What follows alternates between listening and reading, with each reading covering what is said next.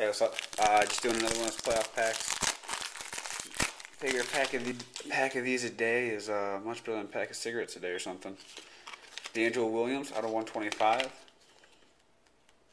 Nice three color Vernon Davis patch again.